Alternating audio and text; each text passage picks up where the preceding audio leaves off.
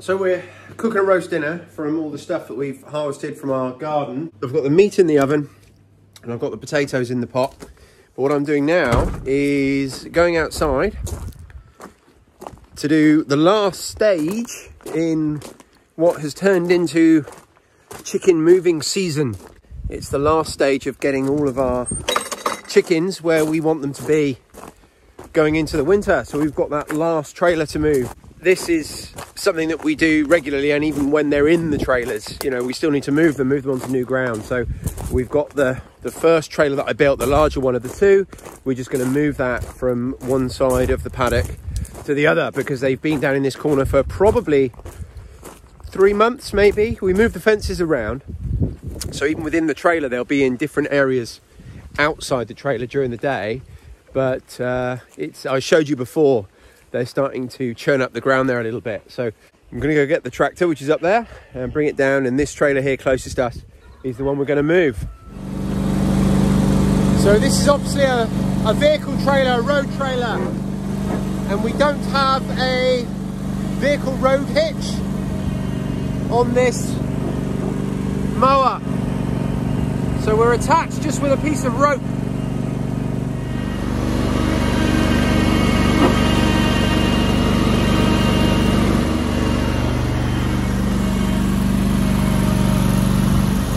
decided we're going to move them not very far actually, just here in front of us. I've mowed another ring ready for the electric fence which my wife's putting round now. So that's the trailer move. Now what we need to do is make sure that we've got the goats this side of the fence and the chickens that side of the fence, which uh, sounds simple. I think I'll do the chickens first and hope the goats just end up where we need them. That's another good job done. Another thing ticked off, ticked off the list. And I just want to show you this. This is why we are so desperate to get it moved. It's really sat here a week or two longer than we would have liked, but where we were without the, the tractor, that was the issue really. But you see, this is this is the patch of ground that was under the trailer. They tend to sit there quite a lot during the day when it's hot. And they also tend to make their dust baths and stuff. And also because it's in the shade, things are going to struggle to grow and they've also you know destroyed a fair amount of the ground this is where they've created a lot of their individual dust baths that just turn into quite big divots as time goes on you know and they use them more and more and more hens try to squeeze into one space.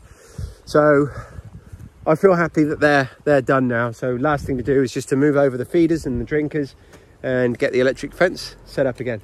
So I've left my wife to finish up um, just setting up the fencer and what have you while I go back and get dinner cooking again. We're pretty much through our winter planning checklist. You know, we wanted the, the mobile chicken houses, which we've got. We were doing everything we could in the summer and autumn to make sure that the grass recovered in our paddocks. And I feel like we've done that really well as well.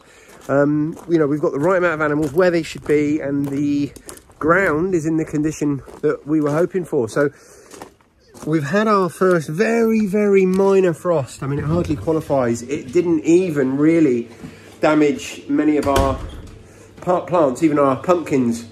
Hasn't killed any of them. Uh, you can see the signs of it on the outermost leaves, but generally speaking, you know, I'm not going to class it as our first frost yet because everything's still growing, and I mean everything without any protection. So but what, what I'm getting at is the frosts are coming, so the grass growing is going to slow right down. Uh, the reason I'm mentioning that is because the last thing on my sort of going into winter checklist is to get all the grass and everything cut and tidy-ish.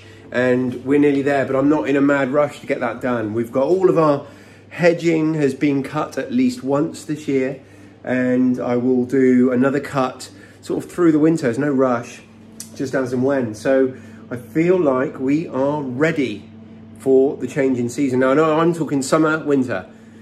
Obviously, we're just going into autumn, but at the start of autumn is when we change our thinking, animal-wise at least, from summer to winter. There's only two seasons for our animals, and then obviously there's certain things you think about doing in the spring and in the autumn, like we want to be kidding goats in the spring, so we're very much on the lookout for a stud goat, but again, we do that as soon as we're at the end of summer. So that's it, that's where we are. Uh, beetroot? Yeah, and it looks like an acorn right in the middle. Yeah, yeah. so we've got some, uh, got just got some kitchen waste here from uh, the roast dinner I made yesterday. So we're going to go feed that to some of our animals. So for a change, I just thought we'd give the, uh, give some of our veggie scraps to the goats. So they are absolutely loving the uh, the stems from the the spinach and some of the leftover kale. And uh, I I podded some beans yesterday and they're going to eat the pods as well. But they're not so keen on the helicopter. It's all right, girls. Oh, it's a very low flying Chinook. It's better. The helicopter's gone now.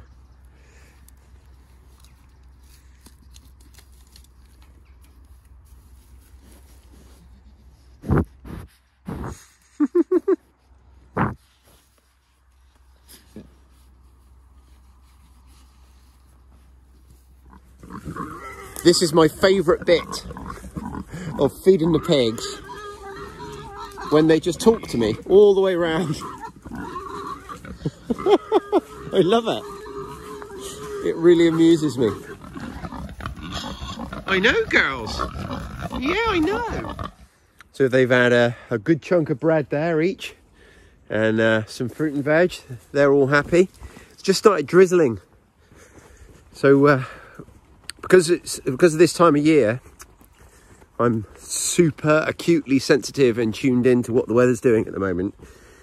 But after we had that one evening with a really, really light frost that we had overnight, and it looks like now we've got at least two weeks when it's going to be quite cloudy. So we're not going to get a frost for at least two weeks. So I'm super happy our um, our autumn is looking really good this year in terms of our produce and everything. So it's mainly our squash. I know I keep on about it, but our, our we, we've got some butternut squash plants which have got dozens of fruit that they've set, and I've sacrificed quite a number of the fruit at the tail end of the plants to encourage the plants to focus on putting its energy into maturing the fruit that's closer to the base.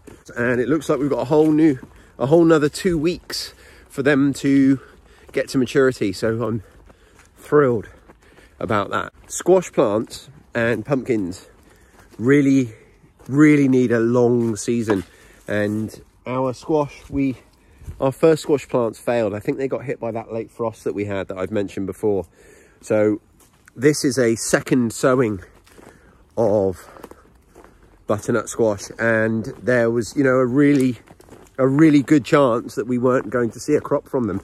But it's looking like fingers crossed if we uh, maintain this frost-free weather for a few weeks then we're going to have an abundance of them and I'm thrilled. I love them. I absolutely love them. Same with pumpkins. Squash one of the reasons I love them is not only do they deliver you a huge amount of food they're also super easy to store. You don't have to worry about gluts because you literally, you just store them in your house.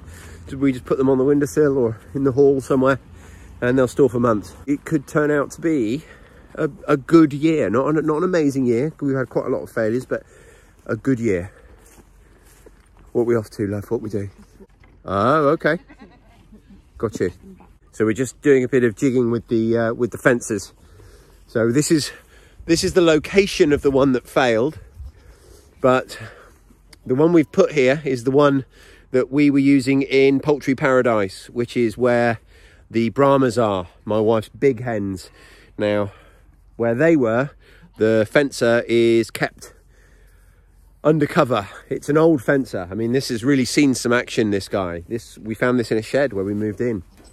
So um, this fencer here is one that we protect from the elements. So my wife's just mentioned that we're going to swap them back over and put that one back where it can be protected and put the new one out here. Because the uh, the new one's almost like a you know a really top of the range one. It should have no trouble at all dealing with the elements. So this is our poultry shed. This is where we keep all our bits and pieces for our fences. And well not just poultry. This is our animal shed. This is where we keep all the stuff like our electric fencing spares uh, chicken wire and you know some transportation equipment and our spare batteries. My wife keeps all these charged. So my wife does do most, like she does most of all the things around here. Um, the electric fencing is another thing that she very much keeps on top of. I very rarely do very much with it apart from help her out if she when she asks. So uh, this is the we've also got some spare electric fencing posts and various bits and bobs. So we've got an old fish tank that we use here to help protect this one.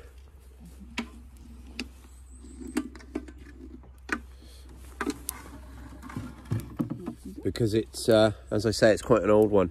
Seen a lot of action. So uh, that just helps it stay dry. I think, did we actually have it? Did we do this because we had an issue with it? Yeah, it kept filling up with water. Oh, yeah. And we had to keep tipping the It's still working, but it was full of water and we had to keep tipping it out. Yeah. We just did that to stop it getting in the working. So, so the as you heard then, the, the casing is actually got a crack in it somewhere. It's not watertight, and it would actually fill up with water. So that's what that that I remember now. That's why that's over the top of it. So uh, my wife quite rightly reminded me and you know said we better quickly swap them back over. So we'll now go and put the new one back out into the meadow. Are they?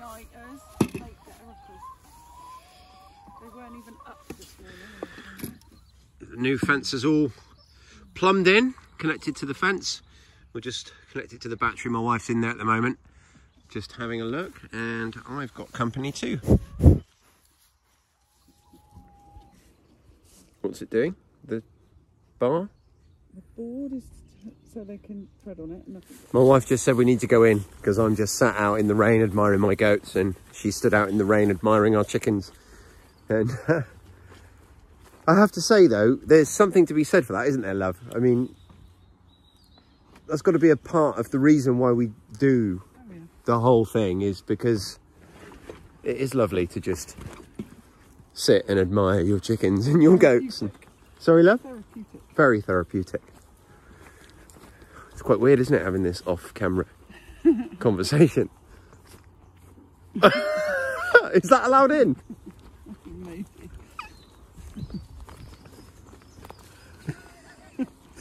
Well, I'm going to take that win and wrap this baby up. I will uh, speak to you guys tomorrow. So if you find these videos valuable, there's several ways you can support them. And the easiest of which is to press that like button and subscribe to our channel. And also leave a comment down below. Let me know what you think. Say hi to my wife.